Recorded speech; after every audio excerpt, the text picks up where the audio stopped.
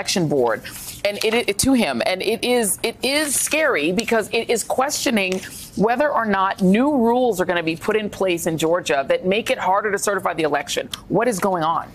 So, a couple of weeks ago, there was this weird moment at a rally in Georgia where Trump, from the stage, shouted out by name members, new members of the Georgia State Election Board. And the Georgia State Election Board is not supposed to be like a partisan entity. It's not like a Trump campaign thing. It's the technocratic board that oversees the administration of elections in Georgia. And so, him shouting them out by name and claiming them as like MAGA superheroes who were pit bulls for victory was a bad sign. But it turns out that, in fact, three pro Trump members have been assigned to this board. They are the majority of the board. And since they've taken over this board, they have been passing all of these new rules in Georgia that are designed, among other things, to let local Republican elections officials refuse to certify the vote, refuse to say what the vote total is uh, in individual counties.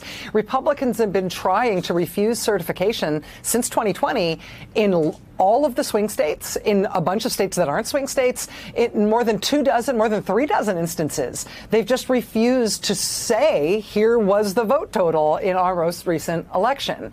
They're doing this leading up to the 2024 presidential election when it seems very clear that no matter what the results are, they're going to say there's no knowable result. And so this letter today is from the Secretary of State's office, from George, uh, Brad Raffensperger's office in Georgia, telling the Georgia Election Board, you need to stop passing these new rules. We're way too close to the election. Joy, on Friday of this week, they're planning, according to this letter, to pass 11 new rules for the administration of the election. This is Raffensperger's office warning that it's way too close to the election for any of these new rules to go into effect and telling them not to do it. He actually calls what they're trying to do absurd. But there's no reason to think they're going to follow this advice. They are really intent on sort of technocratically scuttling the process of tallying the votes. And when you say soon, I mean, he, we're talking about Uh, early voting starts, advanced voting starts October 15. So we're yeah. talking about in a matter of weeks, not November. We're talking about October voting. They're still trying to pass rules that will make it difficult to certify. This feels like it's not a it's not a 50 state problem. It is a Georgia problem because of Republican control, maybe a Pennsylvania problem, Republican Secretary of State. But all they would need is like one or two states with enough electoral votes to bring it short of 270, right? Like that's the nightmare scenario that somehow we end up because one state just doesn't certify at all. We go into the electoral college and no one has 270, or we wind up in court cases, Brad Raffensperger suing this election board and taking it to the Supreme Court. Either way, that's two out of three ways Trump loses the election and still could be president. I mean, potentially. It's it's a very unsettling scenario when you get into those nitty gritty hypotheticals about how this might work. I mean, what would happen? The Electoral Count Reform Act, which was passed after what happened on January 6th, it says that the states have to have certified election results by December yeah. 11th. Doesn't say, though, what happens if they don't. And if part of the reason they don't is because it's tied up in courts and the courts can't be encouraged to meet those deadlines, the prospect arises in which a state like Georgia or some other state that tries this essentially doesn't forward its electoral votes to Washington. What would happen then, theoretically, is that the number of electoral votes you'd need to win the presidency would be reduced. It wouldn't be 270, it would be some smaller number. And theoretically you could get there with us you you could get there even if you had not been able to get there had all the states votes been counted so yeah. i mean it's the the worry that you have about the courts is the worry that I share, Joy. That this could be something where just delay, just obfuscation, just confusion, just muddying the waters could preclude a state from having a clear result by the time the country needs them to have a clear result. And they feel very confident in their chances once it gets into the courts. And I think yeah. that's ultimately the goal of what they're doing. Yeah, and the thing, the, the, bottom line to this, and it's something that you talk a lot about uh, on the Maddow Show, and we talk about a lot about, and just in our little circle, is that you have a party that doesn't believe in winning power through elections. They don't mm. believe fundamentally in democracy. They just believe in having power, and so that means there really there is no limit to what they'd be willing to do to get it, and they really don't care whether that means they won an election or not. That's immaterial to them.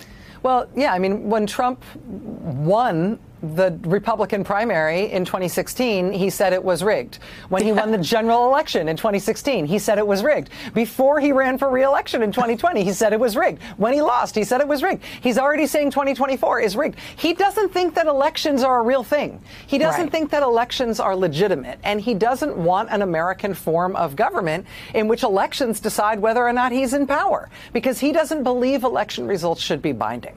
And so that's what it boils down to when you talk when people say democracy is on the ballot. That's what it is. Yeah. But the nuts and bolts way it plays out is with what is now a whole of Republican Party strategy to say, you know, we're likely not going to have any election results, and we're going to have to figure this out some other way, either with the Republicans in Congress or the Republican-leaning courts. We're going to have them sort this out rather than the American people. That's that's yeah. the nuts and bolts way this thing gets worked out. Uh, this is why we say scaring is caring on this show. Since the apparent second assassination attempt against him, both campaigns have been facing questions about heated political rhetoric and which candidate and their supporters have contributed most to our tense political climate. Well, Trump has blamed Biden and Harris over the assassination attempt and criticized Democrats for calling Trump a threat to democracy. Democrats have defended their claims and pointed to Trump's frequent attacks on Biden and Harris. He's repeatedly claimed if Harris is elected, the country will cease to exist. Joining me now is Arizona Democratic Senator Mark Kelly, whose wife, former Congresswoman Gabby Giffords, survived an assassination attempt in 2011 that badly wounded her and 12 other people and killed six. Um, Senator Kelly, what is your perspective on this? Has political rhetoric gotten out of control in the run up to the election? Well, Anderson, let me just start by saying uh, no family, no individual should ever be subject to political violence. Uh, it's happened, you know, too time, too many times in our country's history, and certainly, uh, you know, my family, what happened to Gabby over a decade ago. There's no place for that, um, and you know, we've got to, you know, consider, you know, what our, you know, the language we use and what it means and how it could incite people. Uh, but what Donald Trump is doing is what he always does, right? He uh, points the finger and he places blame in, in, other in other places. I mean, literally tonight we just played a clip of him uh, at a rally in uh, in Long Island, you know, and saying, you know, don't don't call your opponent, say your opponent is, you know, going to end democracy, and then he immediately said she's going to, uh, you know, destroy the country.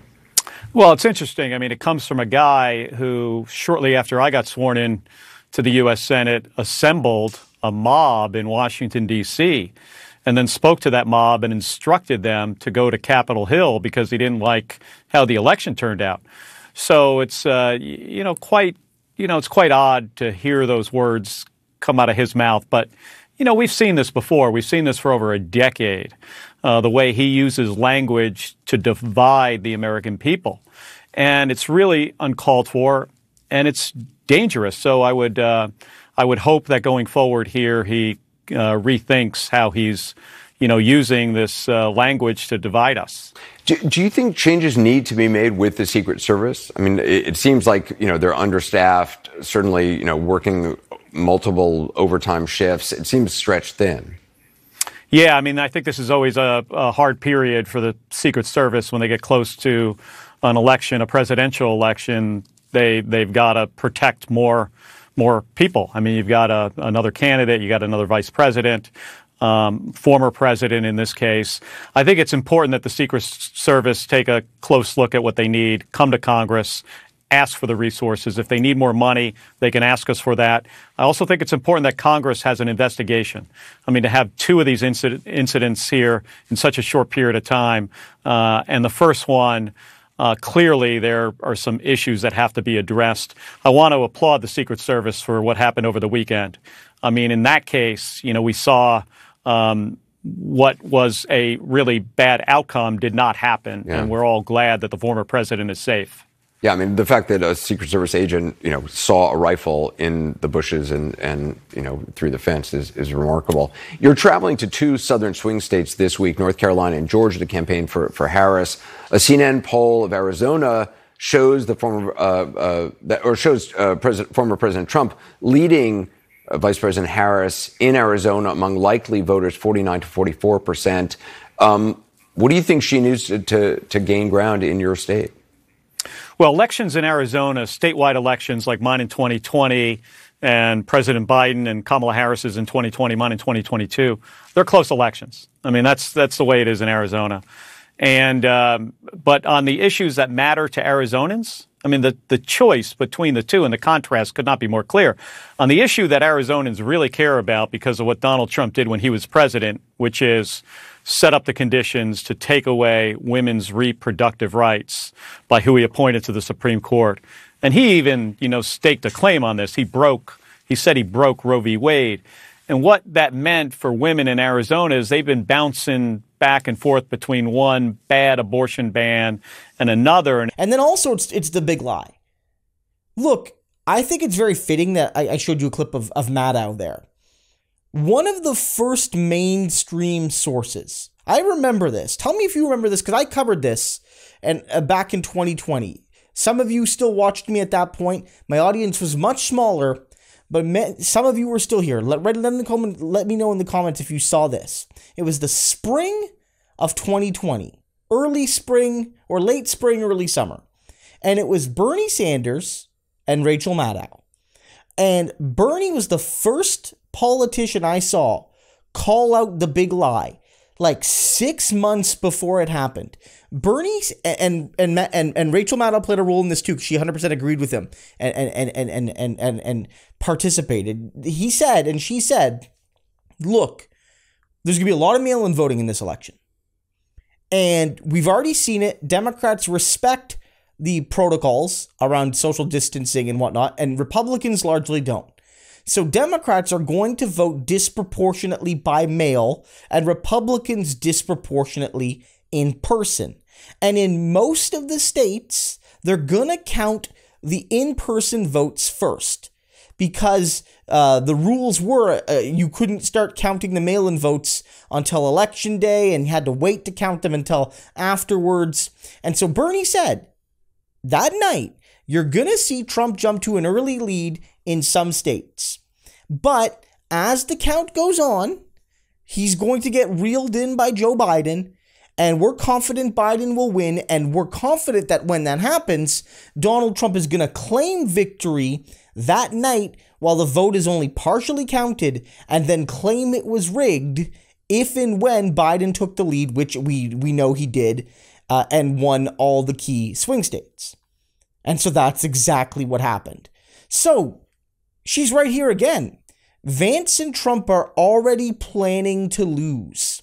And they're not just planning to lose and then lose gracefully, they're planning to lose and then launch another coup attempt, blaming immigrants this time the same way they blamed mail in voting last time.